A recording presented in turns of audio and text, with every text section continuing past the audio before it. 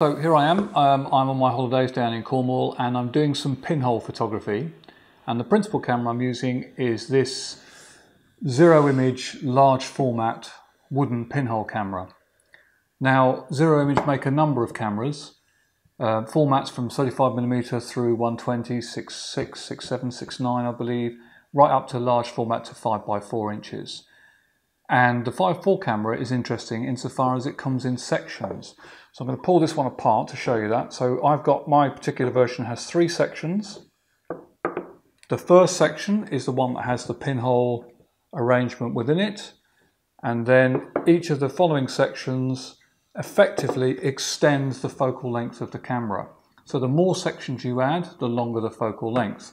And this particular configuration, once I add my two extensions, plus my original camera piece gives me 75 millimeters of focal length.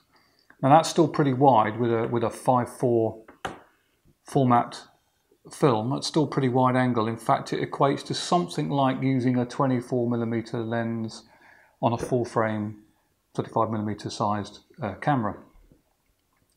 If I pull off one of these sections and reduce this down to 50 millimeter, then I'm into extreme wide angle territory and if I only use this section here, I get a really, really wide, almost 180 degree angle of view. And I also get some extreme vignetting into the corners. The corners darken right off. I effectively get a circular image. Quite dramatic, but I don't actually do that very often as I find that it, it, I don't really find that particularly useful. So generally speaking, I either use two sections or more often than not, three. Now the sections themselves are held together with elastic bands wrapped around these brass posts and that holds the camera together. And then we've got tripod bushes here and we've got tripod bushes here to enable us to fix it to the camera.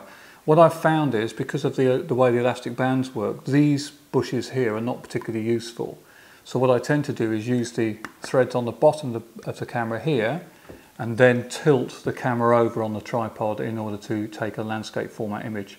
Otherwise the, these elastic bands just get in the way. And when we're ready to shoot, the 5.4 film, the dark slide, the, the film holder is held on the back once again by using elastic bands. So we wrap these around the posts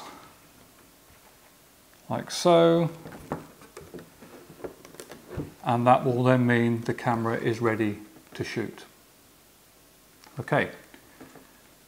Now, given that you have a number of different focal lengths to work to, I've struggled to get this off now. Given that we have a number of different focal lengths to work to, and that we have the issue of the size of the pinhole, because as the pinhole size is relative to the focal length, the optimum pinhole size, what Zero Image provides you with in this camera is a turret of different size pinholes. And so we can select the pinhole that's most appropriate for the amount of extension that we have. And that all comes in the instructions with the camera, um, explaining which pinhole to use with, with which particular extension, what uh, diameter the pinhole is, and from that you can work out what the effective aperture is. So typically I'm using the larger pinhole with three pieces and that gives me an aperture of around about f240 and that enables me to make an accurate exposure calculation. The posher versions of this camera include a cable release rather than a simple manual shutter opening and closing. I didn't find that particularly uh, uh, important or useful and also things like a spirit level attached to the camera to give you to help you um, line things up. Again, I don't find that particularly important because I've got spirit levels built into my tripod, so it's not really necessary. So there we have it. That's my Zero Image 45 large format pinhole camera. I've had this for about three years now and I find it produces really, really good quality results. It's also a very, very well constructed camera and although they are quite expensive, I think they represent pretty good value for money when you look at the quality and the finish on the camera. So I'm going to go off and try and take some pictures with this uh, while I'm on my holidays and um, let you see the results.